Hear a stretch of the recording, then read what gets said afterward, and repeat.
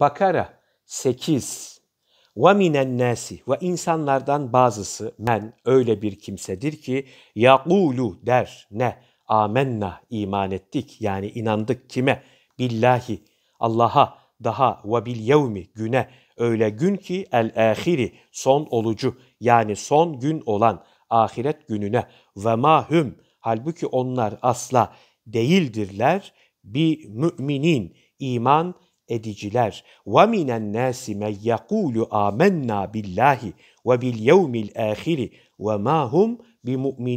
İnsanlardan bir kısmı da vardır ki biz Allah'a ve ahiret gününe inandık derler. Halbuki onlar asla inanıcı değildirler.